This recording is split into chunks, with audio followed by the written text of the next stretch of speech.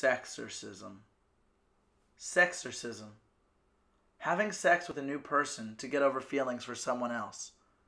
Rachel told me she had a sexercism to get over Doug. She said her head was spinning around in circles. You know, because the sex was so good.